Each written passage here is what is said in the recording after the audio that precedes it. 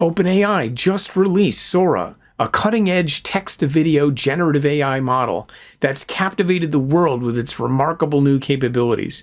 This model can create realistic full motion scenes from nothing but simple text prompts, representing a significant advancement in simulating the real world. In this demo, I'll guide you through a series of Sora generated videos, showcasing the model's impressive ability to translate text into visually stunning, lifelike footage. Also, I'll share some examples where the model produced unusual and even unsettling images, exposing its limitations and challenges. This release of Sora marks a giant leap forward in the field of video generation, and the potential applications of this technology are truly game changing. As we explore these examples, I'm going to share with you where I think the media industry is going, and I hope to provide you with a deeper understanding of Sora's state of the art capabilities and evolution of this transformative AI innovation. So, with that, let's dive in. This is the Sora website Sora is an AI model that can create realistic and imaginative scenes from text instructions. Look at how the paper planes follow a motion path throughout the duration of the clip. Object consistency has been the biggest hurdle with video generation for some time now. And while consistency has gotten better over time, even with Runway ML Gen 2, for example, Sora is still the best I've ever seen, with video quality and objects in the scene remaining remarkably consistent. I'm going to show you some of my favorites. Without having a 3D modeled world, the camera rotates around this robot. Look at how Sora expertly maintains the scene coherence and how all the objects on the table stay consistent throughout the camera move. Incredible. In this next scene of a mountain range and hikers, I'm impressed by the stunning detail of this video. Look at that dynamic camera move and rotation. The people and scene elements move consistently through 3D space throughout the move. I love that. Here's a Dalmatian occluded by pedestrians. Notice the dog stays consistent in the window behind the people who temporarily block the dog from view. And notice the shutter on the window, which opens throughout the activity in front of the dog, also maintaining its consistency. This scene is a Sora generated clip of a Chinese Lunar New Year celebration. A large Chinese dragon is passing by, and as it does, the crowd stays consistent, even when the dragon occludes the crowd for many frames. In this scene, there's a little bit of snow in the air as the camera follows this couple through a Tokyo market. The cherry blossoms look amazing, and the people and objects, for the most part, maintain consistency as the camera moves throughout the scene. If you look closely, you do see two people who are walking suddenly disappear into the foreground as the couple approaches. So Sora's not perfect, but this is pretty darn realistic. Watch this man eating a burger. This is a hard thing to do, to realistically model cause and effect, a change to objects that have been permanently altered, such as when the man takes a bite out of this burger. Look at that. Really great. This is another great example of Sora's capabilities. Here is a woman on a train holding a cell phone. Her reflection shows in the glass when the train passes through a dark area. This is a remarkable recreation of what a train ride is like. It's very realistic. And when the model captured the reflection inside the train the whole time, it's accurately rendering the objects the train is passing as well. So this example is modeling two scenes with one superimposed on top of the other. Phenomenal. In this extended clip of a woman walking slowly through a neon lit Tokyo street, the other people on the street in the scene in the background remain consistent throughout the clip. Then another scene pops up with a super close up of the woman, and every detail looks perfect. You see natural looking skin, jewelry, lipstick, and the scene reflected in her glasses. The hair and earrings follow natural physics as she moves around. The realism is stunning.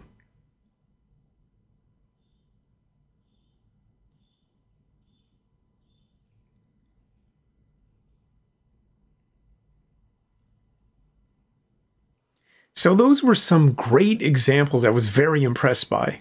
And I've got more to share with you, including a bunch of mistakes that Sora generated, where the physics is just all wrong. Hang in there with me and we'll get to those. Sora can generate up to a minute of high fidelity video with its largest model. It uses a diffusion transformer architecture that operates on space time patches of video and image latent codes. It's not actually building a 3D model of the scene. I'll explain why that's important in a moment, but first let's break that down. Take a look at this graphic from OpenAI's paper on video generation models as world simulators. Space-time patches are small subregions or segments of a video that span both space and time. The patches are used as input to the model. Image latent codes are compressed hidden representations of data that capture the essential features from frames of a video in a lower dimensional space, as shown here. Sora's transformer architecture allows it to capture dependencies and relationships between these different space-time patches extracting and learning meaningful patterns from the video and image data. When we go to use the model to generate video, the process starts with a noisy image or video, as you see on the left, which serves as the initial input to the model. The noisy input can be thought of as a random or distorted version of the desired output, lacking clear details and structure.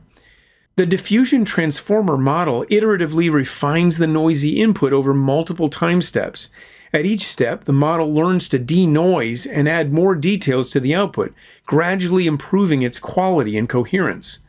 During this refinement, the model focuses on developing spatial and temporal features, such as object boundaries, textures, motion patterns, and semantic content. The model progressively adds more detail and sharpens the features as the generation process continues. The output gradually reaches the desired resolution through a series of upsampling or deconvolutional layers that increase the spatial dimensions of the output. At this point, the goal is to have clear, coherent, and detailed content that closely matches the given text description or input frames. This ViViT white paper, a video vision transformer, has an excellent graphic that shows how spatial temporal patchification works, by extracting and linearly embedding non-overlapping tubelets that span the spatiotemporal input volume. Huh? What was that? In this graphic, we see how 3D convolution works to capture spatial and temporal dimensions of video data. When we use convolution on images, we use spatial patch compression to divide the image into rectangular regions or spatial patches. But for videos, as shown here, Sora adds the temporal dimension, treating the video as a sequence of frames over time. The compression is performed on these spatial temporal patches using fixed convolution kernel parameters, such as the kernel size, which is the size of the convolutional filters, as shown here as the red and yellow regions, or tubelets. Strides, which are the step sizes of the convolution operation, or how far the tubelet should slide between each sample. For example, does each sample overlap the previous sample, or are they non-overlapping selections? And output channels, each representing a specific feature or pattern extracted from the input. As the model is being trained, the convolution progresses through the multiple layers in the model, and the number or output channels typically increases with each layer, this allows the model's neural network to learn more complex and abstract features the deeper it goes. For example, let's say we have an image of a cat. In the first layer, the model looks for edges and curves which might be the outline of the cat's ears or shape of its eyes. In the second layer, the model might combine the simple features from the first layer to recognize more complex things like the cat's nose or mouth. It's like putting together puzzle pieces to form a clearer picture, at deeper layers, the model is looking for higher level features that are specific to cats, like whiskers, fur patterns, or the shape of a cat's face. With each layer, the model gets better at understanding what makes a cat a cat. More filters and a deeper network allows the model to become more expressive and can distinguish between different objects more accurately. It's like becoming an expert at recognizing cats by paying attention to all the tiny details that make them unique. As you can see from these three video samples of this scene of a dog playing in the snow, sample quality improves dramatically as the compute power for training increases. The video on the left used the minimum base compute for its training. It doesn't even look like a dog. The lines in the snow are blending with the dog's legs, and it looks like an optical illusion. In the middle video, the image is using four times the compute for its training. You see a more accurate depiction of the dog and the woman with him. However, the background looks blurry in places, only some of the trees are crisp. The video on the right is using 32 times compute, and here we can see substantially more detail in the foreground and background. The dog looks very detailed, as does his owner. And in the back, we can see a park bench, a light pole, and trees that are intentionally blurred to provide the shallow depth of field effect. The quality improvement is quite noticeable as you throw more compute at model training. So incredibly, Sora has generated all the videos you've seen so far without actually having a 3D model to work with, which is just fascinating and incredible to think about. I said earlier I'd explain why that's important. Where we go from here is on a path toward building dynamic general purpose simulators of the physical world for potentially a lot lower cost and complexity than, say, building a 3D scene with 3D object modeling, applying textures and lighting effects, and so on. A scene modeled with a 3D engine requires computation of motion, shading, and occlusion of all the objects in the scene but a dynamic world simulator would not need nearly as much compute after the model is trained, of course. This Minecraft video was generated by Sora. It's not actually the Minecraft game. It's a pretty amazing recreation, I think. Very soon, I believe you'll be able to play interactive games where you'll have unprecedented control over the experience in a simulated world, such as by controlling the scenes, plots, and characters. You'll be able to interact with sporting events, seeing the gameplay at high resolution from angles that weren't even recorded live. There are so many possibilities with this technology. It's incredibly exciting. I can't wait to see how it evolves. Let's think about that while we look at some more examples. Here's a reference video of a car driving through a pine tree lined mountainside. Sora can transfer styles and environments of input videos zero shot that is, without any examples besides what was in the training data. This is another rendition of the car driving through a jungle, generating changes to the reference video only through text input. It's impressive how the jungle looks so realistic, and how it reflects in the car's back window. How about pixelated in the style of Minecraft?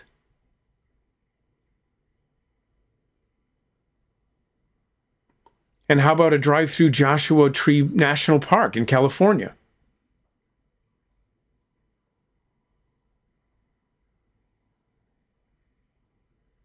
Look at the incredible realism of this vehicle driving on a mountainside on a dirt road. It's better than some video games. Look at how the road curves and the objects along the road maintain their consistency. Look at the trees, dirt being kicked up by the vehicle. Fabulous simulation. Excellent. Now, I want to show you Sora's morphing capability, where Sora gradually interpolates between two input videos to create a seamless transition between them, even when the subjects and scenes are entirely different. First, take a look at this drone flying through a Roman Colosseum. Think of first person view games and the possibilities of dynamically generated scenes. In this second reference video, a monarch butterfly appears to be flying underwater, blending reality with the surreal. Now watch as Sora gradually morphs one video into the other. It's impressive how the Colosseum just turns into an underwater coral reef, and the drone becomes a butterfly. Awesome. The following example showcases a town entirely generated from text prompt, offering a stunning recreation of America's gold rush era from the mid 1800s. This groundbreaking technology opens up possibilities for creating new Western films from scratch, complete with historically accurate depictions of the period. The generated town features intricate details, including old buildings and horses, that bring the setting to life. Even the slightly unstable footage adds to the authenticity mimicking the characteristic style of old Western movies. With such advancements in AI generated content, filmmakers now have an innovative tool to craft immersive and realistic stories set in this iconic era of American history. Imagine if you could walk on the surface of Mars without leaving your living room, exploring its vast alien landscapes as if you were there in person. I believe this would ignite the imagination of a new generation of explorers, scientists, and innovators to push the boundaries of what's possible. I believe that scaling models like Sora is going to lead to full blown simulators to personalize your experience one to one. So, for example, you won't have to wait a year for a studio to produce a sequel or the next season of your favorite show. Sora can generate images too. These are pretty darn good, much better than anything I've generated with DALL-E. Look at the extreme detail in that woman's face, and Sora's ability to use shallow depth of field to create the portrait. And look at this coral reef with all these colorful sea creatures. The detail is just stunning. And Sora also makes plenty of mistakes, such as not modeling physics correctly. These archaeologists seem to be excavating a plastic chair. The chair looks like it's levitating and morphing. And then the man in the dark brown shirt looks like he's going to pick a piece off it. It's disturbing when the physics doesn't behave as expected, but also kind of cool.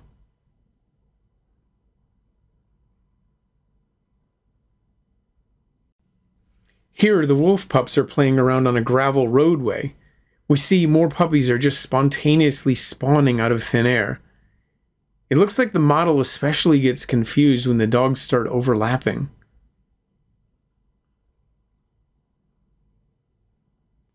Here, this jogger is facing the wrong way on a treadmill. When Sora generated this, it didn't properly consider that the man would have to face forward in order to navigate the moving mat on the treadmill. It got the physics wrong, which is one of the weaknesses that diffusion transformers like Sora still have to overcome. In this video of a basketball, we see the basketball spontaneously ignite after it hits the net, but then a second basketball suddenly appears from behind it and falls right through the rim. Then we have Grandma attempting to blow out her birthday candles, but nothing appears to happen to the candles. It's a good representation of a birthday party with relatives sitting around celebrating, but when the physics doesn't work, it's a big fail. Next, we have this couple relaxing at the beach when a shark swims up. You'll notice the tail doesn't join the shark right away. And look at the woman as she turns toward the camera. Her head turns just a bit too far to be natural. You probably also notice that there's some flesh-colored appendage flapping around with a towel on the back of the man's chair. That's pretty disturbing, actually. And finally, this is one of the coolest examples of a fail. This cup spontaneously lifts up and falls to its side. The liquid just appears on the table. And when the cup lands, it's no longer rigid, even though you don't see the glass shatter. The physics is just all wrong. It's fascinating and creepy at the same time. I hope you really enjoyed exploring Sora's capabilities with me. I believe that Sora is a game changer for the media industry. And while this is Sora's impressive first release, it's only going to get better from here.